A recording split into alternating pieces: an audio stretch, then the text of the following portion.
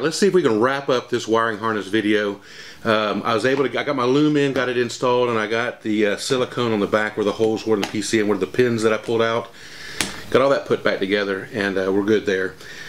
I was going to wait and do this wiring, the final wiring, you know, after I got the engine installed and that type of stuff. And uh, actually, let me make one point. I've been meaning to, to talk about this, and I've been asked a couple times. When I get done, this wiring harness is going to go in a bucket and I'm going to put it to the side. I'm not going to install it back on the engine. I know it'll fit on the engine because I've not I didn't really change the configuration of it. I just pulled off some of the wires and some of the sensor connectors, right? So I know it'll go back on there. That's not the issue. Um, I don't want to put it on the engine because I'm going to be taking that engine in and out of this new swap and I don't want to damage any of the wires. So it doesn't make sense to put it on. So I'll safely put it away and we'll put it on after the engine's installed for the final time. So that'll be that point. Um, the all the dash, all the connectors and electrical electronical devices that go in the dash that go to this type of connector, that I will wait and do that um, when we do the install for that. But I wanted to cover this video on, I'm going to go ahead and cover what these four wires, these are my power wires and what they're going to do. And the only reason I'm even doing this is I was inspired by a video by a guy I've been following just recently, a guy named Gary Garcia. And Gary put together a pretty neat video talking about the starter wire. And uh, you know, when you put the key in, you put it uh, position, move it to position one, that's run, and then you put it to that spring load position. It's two, it's uh, two, that's the start position.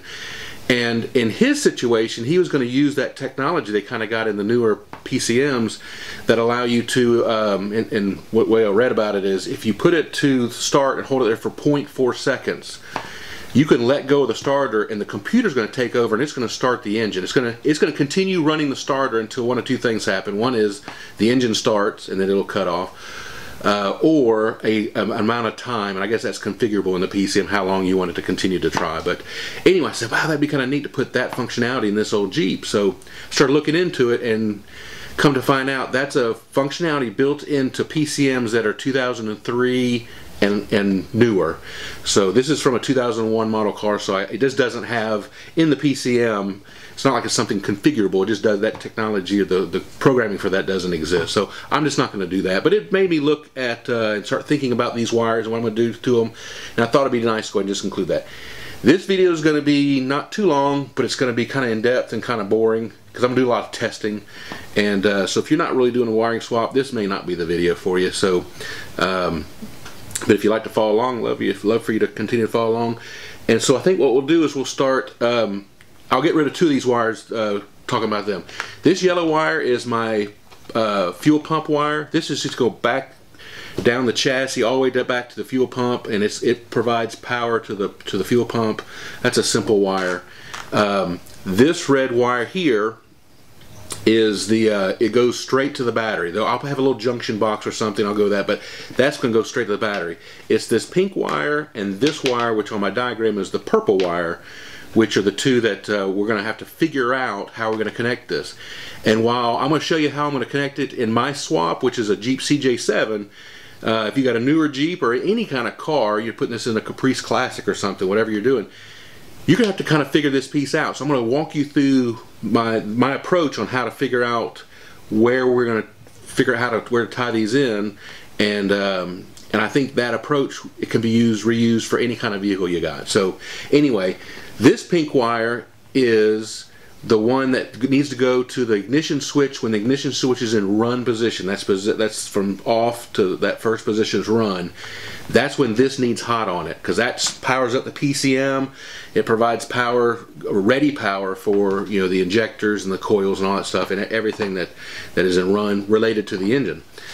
So we need to find a wire in the Jeep that is uh, that is uh, positive.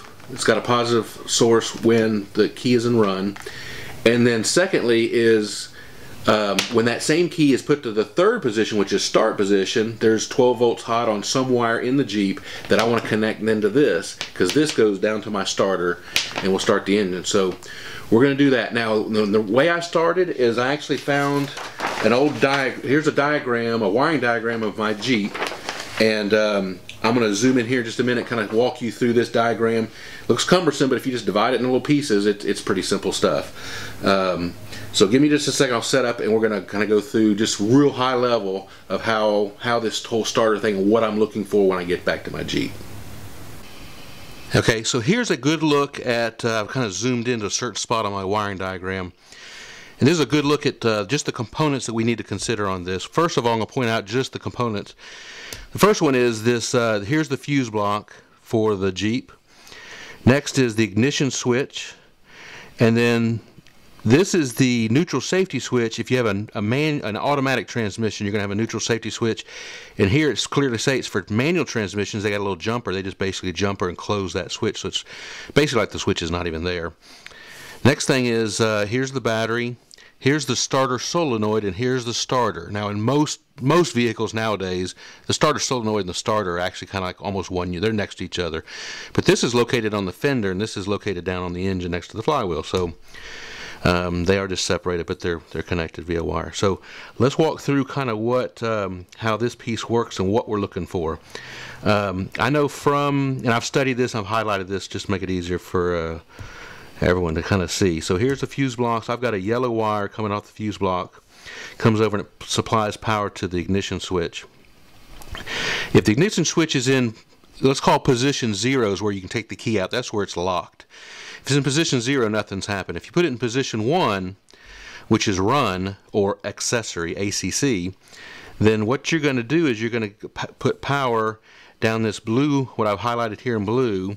If we trace it out here through this, here's the firewall, comes through that connector, comes out. It goes to um, a little connector here for the ignition box as well as it goes over and around to the starter solenoid. Now realistically, that wire doesn't make sense to me. There's no reason the starter solenoid needs any kind of power that's run power. It only needs power when it gets to that start position, position 3. So I'm a little confused as to why that's even there. In fact, I looked at a little bit, and this is for my year model, and uh, there's some of these for a later year model, and that wire is not there. So I think they realized later they didn't need it. I don't know. There's there's always sometimes mistakes, or again, I may not understand it, so uh, I'm not really worried about that.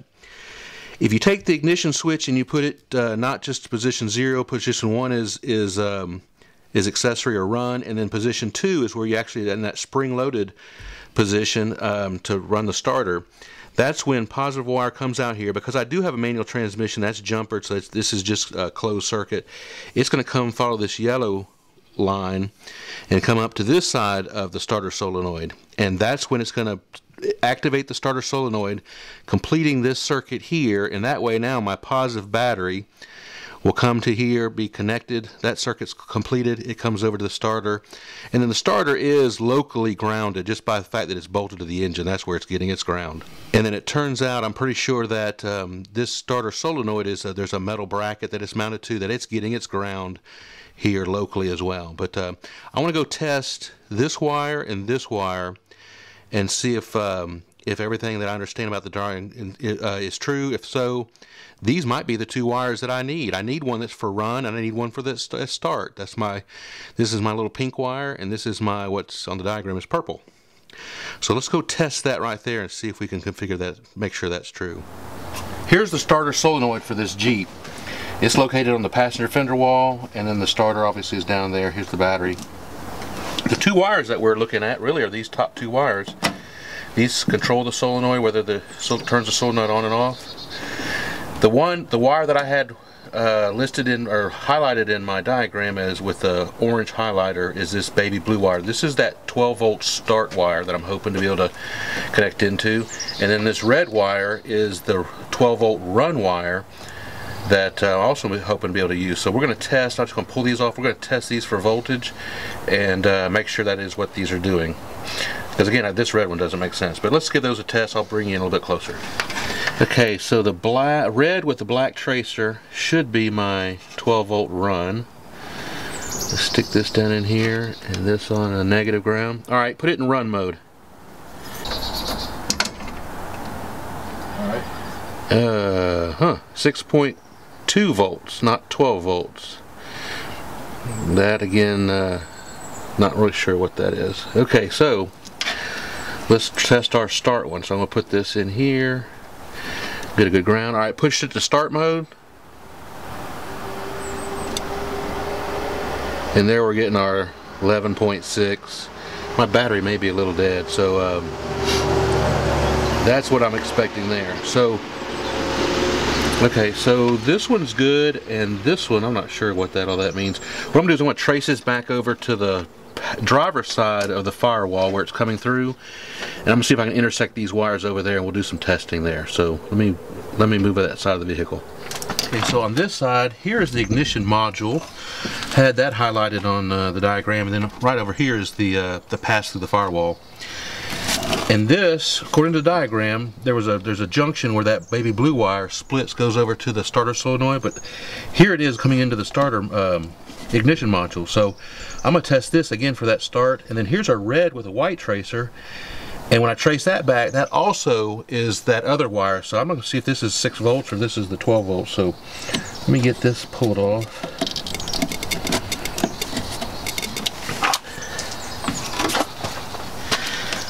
Okay, so I got that disconnected. And uh, here's those two wires. We want to test these things just like we did the other side, but this will be closer. And, and the PCM, this is where I'm going to put my PCM, so this will be real convenient. So let's give these two as well a test.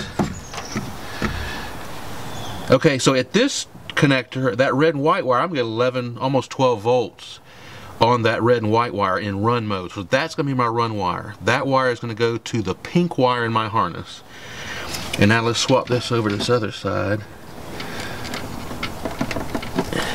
And now put it to start, Austin. Yep, and there's 12 volts on the start for that. So so bypass all that stuff over there on that starter solenoid. These these are the two wires I'm looking for. Um, this red and white one will be my run, which is the pink wire on my harness. And this baby blue is going to go to what is purple listed on my diagram. So that's all I need there. All the rest of this stuff can go out. So that's pretty cool. I'm glad to have that resolved. Now I got that uh, all figured out. I'll go in and uh, show you that again one more time on the diagram. Okay, so here's that starter solenoid. We tested those two, and we got, some reason we got, you know, 6 volts on that one, but we got 12 volts in start on this one, which is what we expected. But if I drag that back this direction, it actually splits right out of this connector. It's, it goes here and goes up. It also comes down, up and over, and is this leg right here to that last connector we went to. So this, this is that baby blue start wire, which we wanted. And the same thing, this one's labeled red tracer, which is what this other red tracer, and if you come back down here, they actually, uh, there's a splice right here. Splice L is where um, this goes this way, but it also comes straight here and goes there. So these two wires are really the same as these two wires we were hunting down earlier.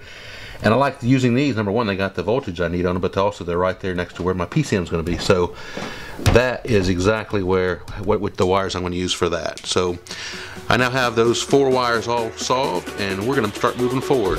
So until next time, we'll see you soon. Jack it up.